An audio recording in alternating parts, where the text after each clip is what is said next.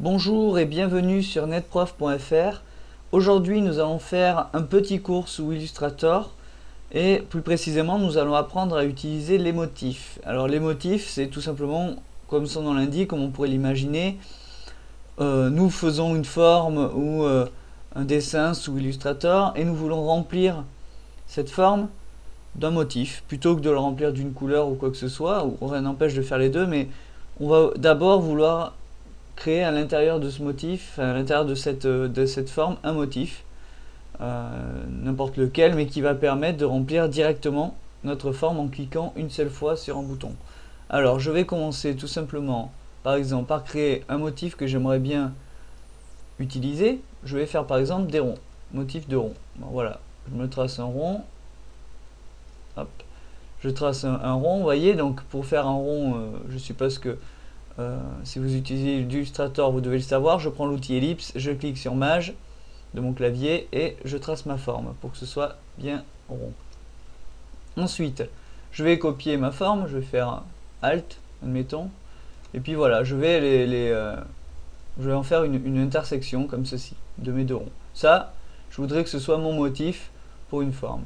Tout simplement, je sélectionne mon motif, je fais édition, utiliser comme motif, je donne un nom, admettons rond croisé,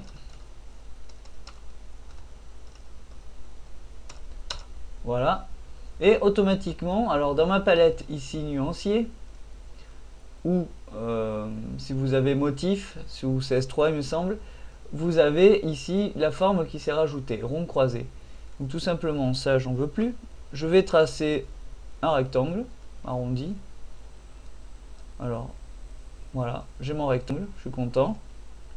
Et ce que je veux, c'est rapidement le remplir avec ma forme. Alors, je pourrais tout simplement reprendre les deux petites formes que j'avais fait et les mettre les unes après les autres dans le, rectangle.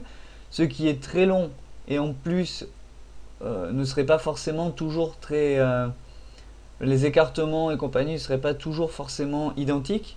Donc là, je prends mon motif, je clique dessus. Alors je clique évidemment sur ma forme. Hein.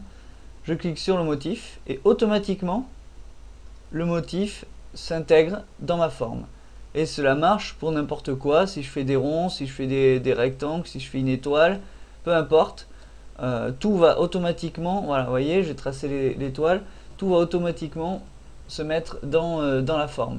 Donc ça permet vraiment vraiment un gain de temps euh, qui n'est pas du tout négligeable.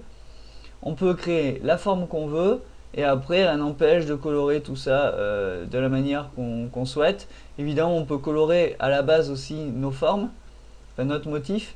Comme ça en fait ça va colorer automatiquement l'intérieur des, euh, des, formes que je dessine. Et donc ça c'est applicable pour vraiment n'importe quoi. Euh, du texte, euh, des ronds, des traits, des, carrés, des rectangles, tout ce que vous voulez. Et c'est vraiment, si vous utilisez Illustrator, un gain de temps qui est vraiment pas négligeable et je vous conseille fortement de l'utiliser car euh, c'est vraiment, vraiment exceptionnel d'aller de pouvoir aller aussi vite et en plus que tout est vectoriel, on a vraiment un rendu qui est, qui est vraiment exceptionnel. Voilà, alors c'était un petit cours, j'espère qu'il vous aura été utile. En tout cas, il montre une fonction qui est relativement euh, efficace et productive lorsqu'on veut aller un petit peu vite et lorsqu'on veut être vraiment efficace sur Illustrator. Voilà, je vous remercie d'avoir suivi ce cours.